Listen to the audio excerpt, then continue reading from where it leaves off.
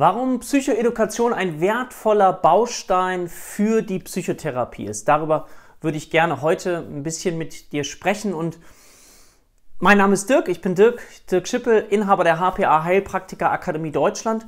Und ich weiß nicht, ob du dich mit diesem Thema schon mal beschäftigt hast. Der Begriff Psychoedukation klingt jetzt auf den ersten Blick auch nicht so sexy. Ähm, und als ich mich damit das erste Mal beschäftigt habe, habe ich da auch ein bisschen gebraucht, aus diesem vielleicht so etwas sperrigem Begriff etwas wirklich sehr, sehr Sinnvolles zu erahnen und das mit einzubauen in meine Psychotherapie. Lass uns erstmal kurz überlegen, was bedeutet der Begriff Psychoedukation? Education heißt Erziehung, heißt Aufklärung. Also es geht um eine Psychoerklärung, um eine Psychoaufklärung. Hm. Also stell dir Folgendes vor, wenn wir uns jetzt mal einen therapeutischen Prozess anschauen aus meiner Sicht einen sinnvollen therapeutischen Prozess, dann ist es so, dass ein Patient ja reinkommt, er war vielleicht noch nie da, dann nimmst du erstmal so organisatorische Name, Adresse, alles Mögliche auf. Und dann, so mache ich es zumindest, frage ich meine Patienten, Mensch, haben Sie sowas schon mal gemacht? Weil sonst würde ich Ihnen gerne so ein bisschen den Ablauf erklären, wie das so abläuft, damit Sie so ein Gefühl haben, damit Sie sich auch sicher fühlen können und so weiter und so weiter. Also ich versuche meine Patienten erstmal abzuholen, ganz an dem Punkt, wo sie sind, mit dem Gefühl von, ich bin vielleicht das erste Mal hier, ich habe keine Ahnung, wie das hier abläuft, ich muss mich auch erstmal an den Raum gewöhnen. Es geht ja um Vertrauen. Es geht ja um Vertrauen und deswegen finde ich es ganz, ganz wichtig, dass wir unserem Gegenüber auch eine ehrliche, wirkliche, gute Brücke bauen, dass wir Vertrauen aufbauen können. Gemeinsam. So. Dann folgt bei mir, und das führe ich auch so ein, dass ich erstmal frage, Mensch, wobei kann ich Ihnen behilflich sein? Was führt Sie zu mir? Dass die Menschen erstmal erzählen würden. Und ich erkläre aber vorher im Prozess, dass es bei mir so zwei Teile gibt. Einmal einen Teil, wo ich ganz allgemein frage. Und dann würde ich noch in einen strukturierten Teil übergehen, wo ich verschiedenste Fragen stelle. Nicht wundern, da kann die ein oder andere Frage mal ein bisschen komisch klingen. Das mache ich bei allen Patienten so, um mir ein umfassendes Bild zu geben.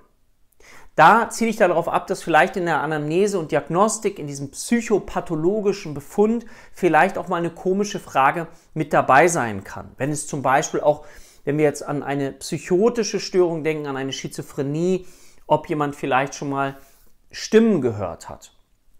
Und jetzt denkst du vielleicht, ja, wenn ich jemanden vor mir habe, dann brauche ich ihn doch sowas vielleicht nicht fragen, wenn ich gar keinen Eindruck davon habe.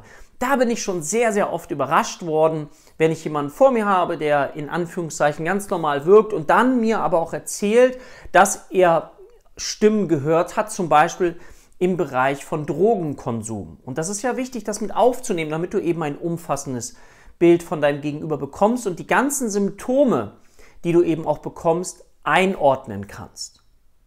Ein Symptom macht ja noch nie eine psychische Störung aus, sondern es ist immer, wie ich das so sage, so ein, ein Symptom ist wie eine Rose und wenn ich mehrere Rosen zusammen habe, einen Blumenstrauß, dann formt sich daraus etwas, was dann mit einer so starken psychischen Befindlichkeit einhergehen kann, dass daraus ein Leidensdruck besteht, der besteht für eine gewisse Zeitspanne mit einer gewissen Anzahl von Symptomen und dann sprechen wir eben von einer psychischen Störung.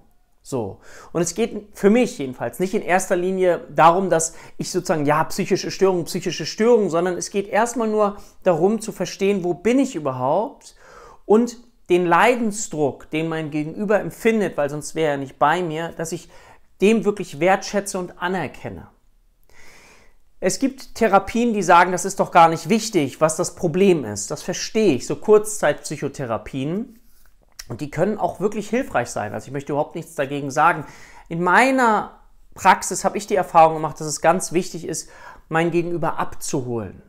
Und das kann genauso an mir als Therapeut liegen, dass ich ganz wichtig empfinde, diese, diese Wertschätzung, diese Anerkennung, auch, auch die Verzweiflung, die jemand haben darf, dass er es irgendwie bisher nicht geschafft hat, damit umzugehen oder das für sich klären zu können. Dass das den Raum hat, dass das sein darf, ist für mich ja, eine erste wichtige, auch therapeutische Intervention, falls die vielleicht vorher noch nicht da gewesen ist, dass jemand noch nicht so dieses Gefühl auch mal loszulassen spüren darf. Ja, dass dieses Psychotherapie Pflegen der Seele. dass wir darauf auch ein, eine Zeit verwenden. Ja? So, also eine fundierte Anamnese und Diagnostik zur Bestimmung.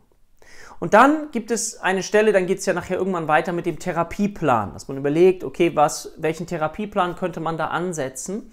Wie könnte man mit dem Patienten arbeiten? Bei mir ist es integrativ.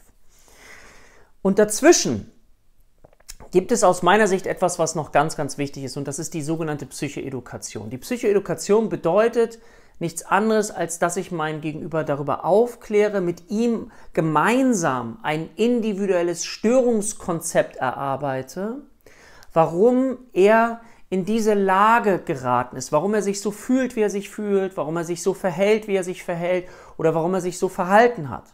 So. Und dazu gibt es unterschiedliche Werkzeuge und Bausteine oder auch Theorien.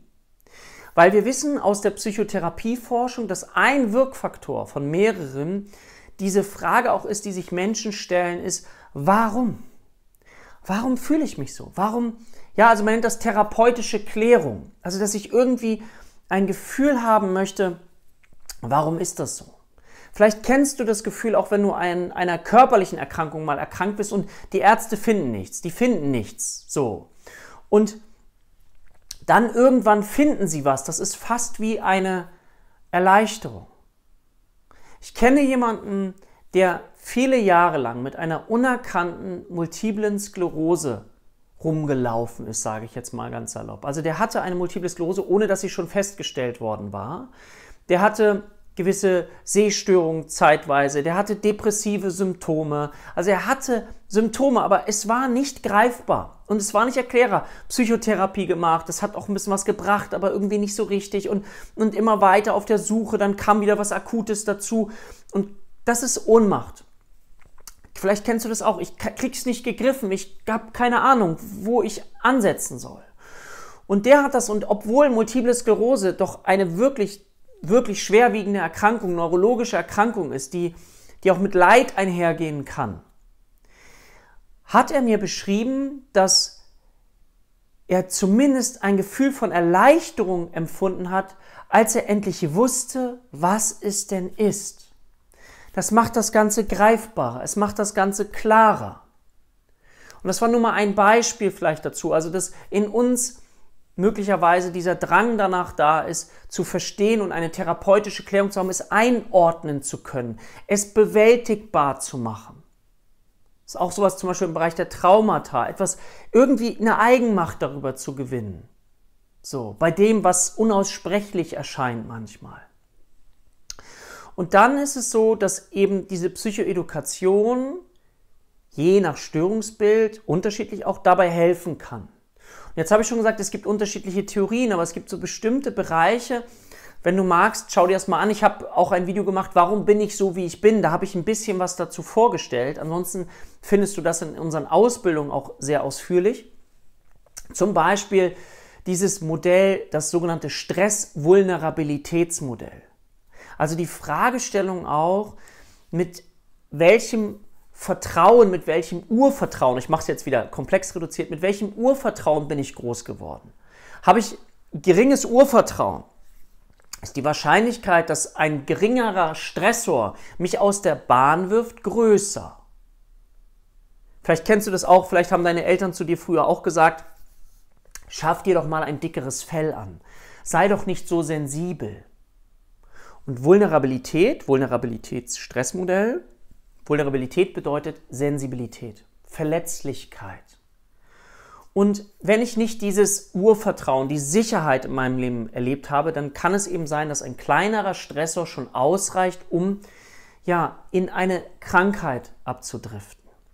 Wenn ich voller Urvertrauen, ne, Fels in der Brandung bin, dann brauche ich schon einen größeren Stressor oder eine größere Stressoren, damit ich abweiche und eine Belastungssituation erlebe, die so prägnant wird, dass ich eben ja das Gefühl habe, ich kann mein Leben nicht mehr so einfach bewältigen. Und gleichzeitig gibt es andere Theorien, so multikausale Theorien, dass man sagt, eine psychische Erkrankung entsteht multifaktoriell. Da haben wir einerseits die Genetik, die Veranlagung. Was bringen unsere Eltern schon mit? Unsere Großeltern. Dann, wie werde ich groß, was ich eben schon mal erzählt habe. Dann, welche weiteren Einflussfaktoren haben wir noch? Haben wir Freunde, einen guten Freundeskreis, Großeltern, alternative Bindungserfahrungen, die wir haben, die uns schützen. Und je nachdem, wie dieses Konglomerat aufgestellt ist, können dann gewisse Lebensereignisse dazu führen, dass wir eben zum Beispiel Panikattacken bekommen, depressive Episoden oder, oder, oder. So. Und es gibt weitere Theorien, je nachdem, welcher Psychotherapiemethode ich gerne folgen möchte. Ob du eher verhaltenstherapeutisch orientiert bist, sozusagen als trainierendes Verfahren oder tiefenpsychologisch, psychoanalytisch, systemisch, wo du dann eben auch den Blickwinkel sagst, es ist hm, eben nicht nur die einzelne Person, sondern es gibt Wechselwirkungen, auch zum Beispiel innerhalb einer Familie, innerhalb eines Systems, was, was mit aus der Vogelperspektive beobachtend einwirkt auf den Menschen. Und als integrativer Therapeut verstehe ich es so, dass ich mich in diesen verschiedenen Theorien bei den Störungsbildern auskenne, mit denen ich gerne arbeiten möchte und dann mit meinem Gegenüber so arbeite, dass ich ihm etwas anbiete. Also das heißt, ich stülpe es ihm nicht über, das ist meine Art zu sagen, so und so und so ist es, sondern ich biete Hypothesen an.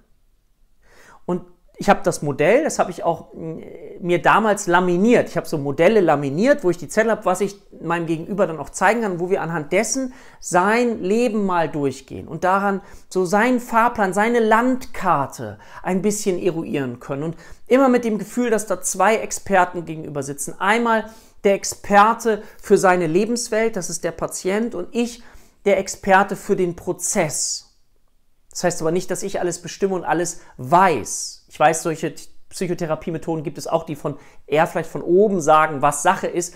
Ich bin persönlich kein Freund davon. Meine Erfahrung ist, dass ich viel hilfreicher mit jemandem arbeiten kann, wenn ich, wie gesagt, Hypothesen bilde.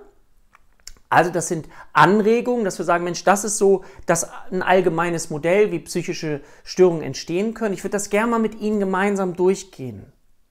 Und dann gebe ich weitere Theorien mit rein.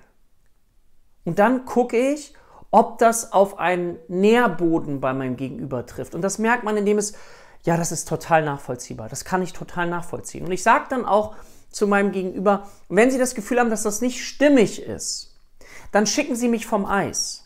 Dann schicken Sie mich vom Eis. Also wie gesagt, ich in meiner Arbeit habe nicht den Anspruch zu sagen, ich weiß alles, wie es läuft, sondern ich versuche das so gemeinsam mit meinem Gegenüber zu erarbeiten und dann spüre ich auch, wenn mein Gegenüber so drin ist, der ist so, so bewegt, er ist, er ist verbunden damit, mit dem, was wir dort eben beschreibbar machen.